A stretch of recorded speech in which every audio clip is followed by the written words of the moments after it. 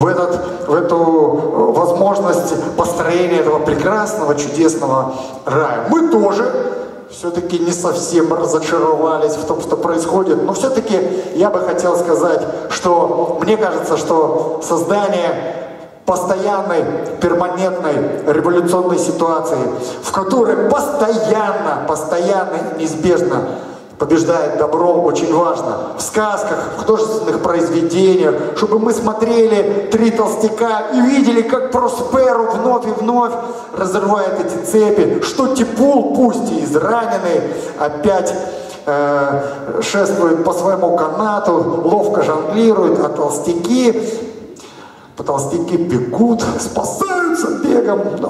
Вот, как мне кажется, об этом песня Проспера. Мы все друг другу должны всегда напоминать, что в детстве, в детстве, читая эти сказки, мы точно и явно знали свою ось координат и точно знали вектор своего пути. А когда мы становимся взрослыми, мы включаем свой ментальный уровень, слушаем советы, много, много читаем философских умных книг и теряемся в них и тонем как в болоте.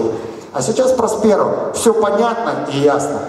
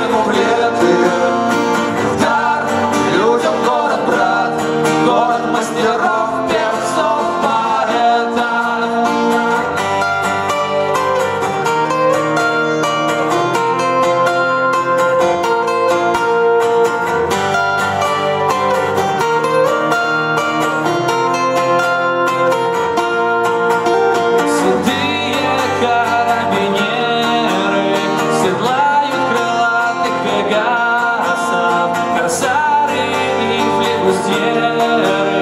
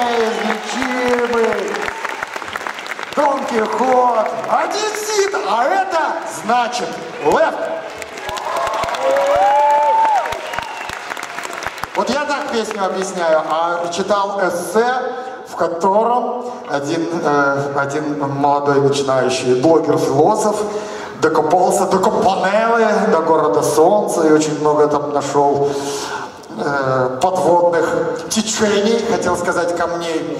И я горе решил слово течение сказать в песне Проспера. Очень приятно, знаете. Компанелла. Думаю, что прежде чем начинать строить, да, нужно разобраться, разобраться и очистить. Правильно? Песня Гарри.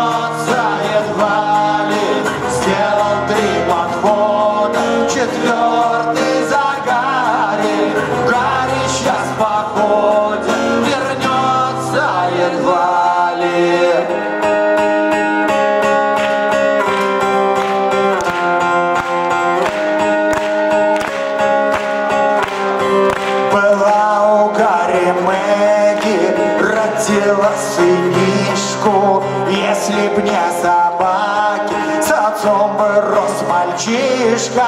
Если б не собаки, с друзьями б шлялся Гарри, Помог бы в шумной драке, орал бы песни в баре.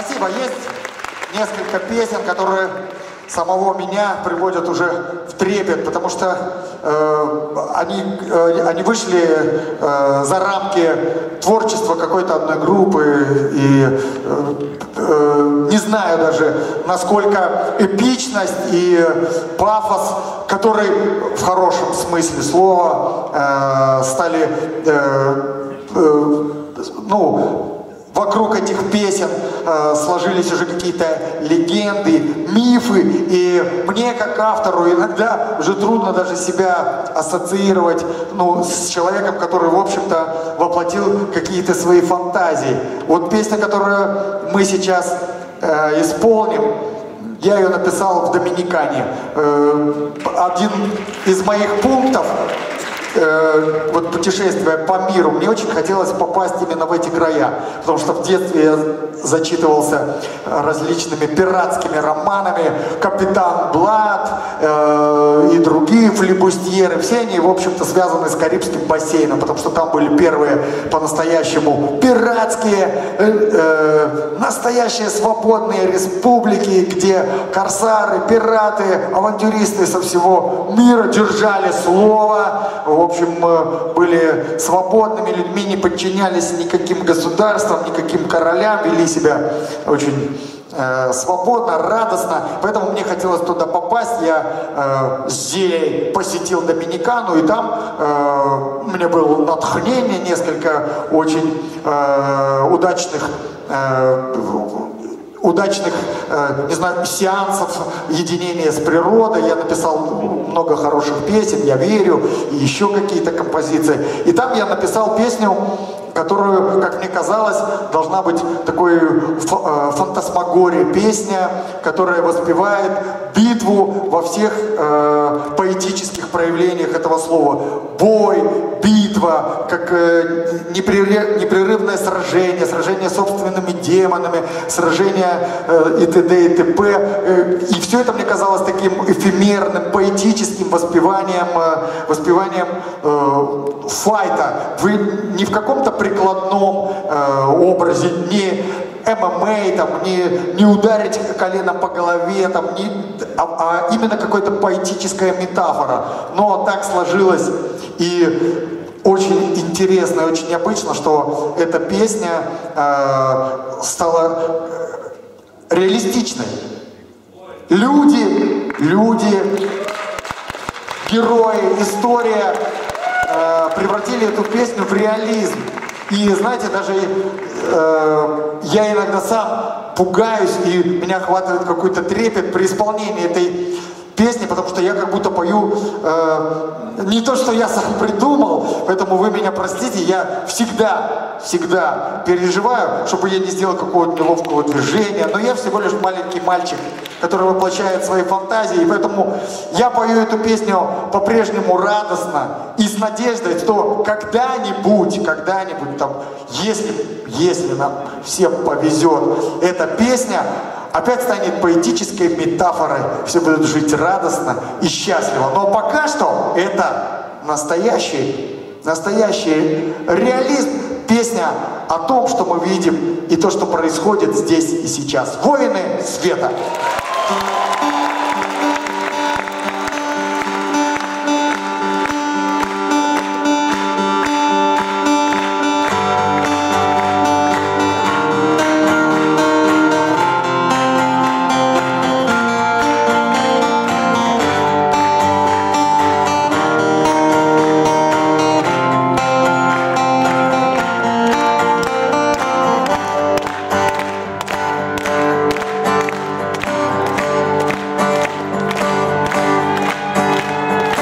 Лето бьются до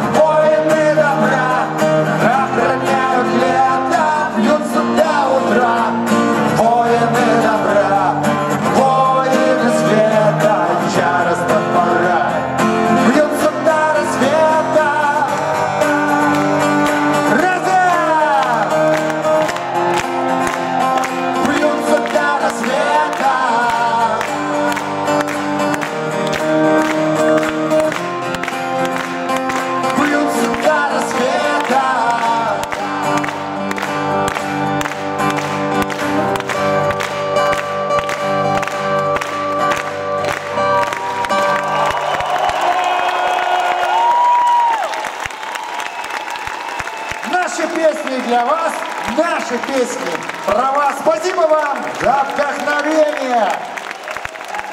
И, конечно же, самое время в этот вечерний час спеть песню, которая уже написана на стихи настоящей гениальной женщины. Это прекрасный поэт. И именно с нее, наверное, началось мое настоящее знакомство со всей великой, огромной украинской культурой.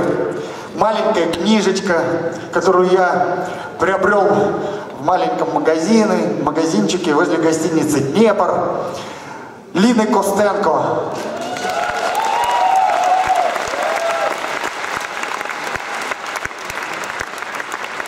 Я несколько строк прочитал и попал.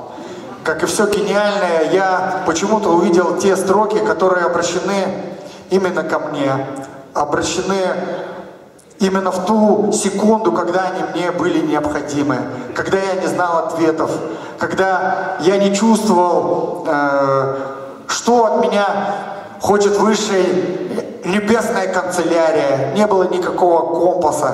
Я ничего не понимал и вот э, прочитал несколько строк и сразу все стало ясно. Э, хотя бы один день, хотя бы, хотя бы несколько часов радости, солнца и улыбки, хотя бы один день, хотя бы одно вечернее солнце.